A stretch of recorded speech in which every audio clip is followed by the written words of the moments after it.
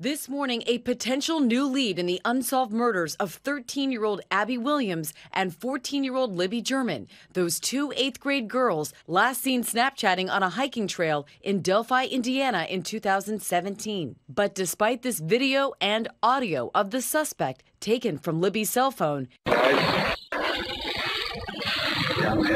their killer has never been found. Now, more than three years later, investigators say they are looking into a person they believe might be connected to the murders. Last week, police arresting 42 year old James Chadwell, charging him with the kidnapping and attempted murder of a 10 year old girl in Lafayette, Indiana, about 20 miles away from Delphi. The sheriff telling ABC News there are several factors leading them to look into Chadwell in connection with the Delphi girls, but declining to go into detail. Chadwell has pleaded not guilty to the charges against him and has not responded to requests for comment regarding that possible connection. The murders of Abby and Libby have haunted the town of Delphi for years. I think of Abby and Libby all the time.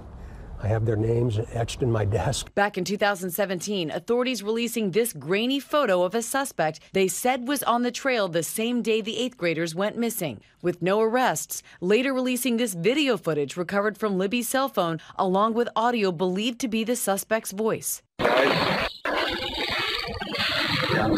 Police saying they believe Libby recorded it because she feared they were in danger. Watch the mannerisms as he walks.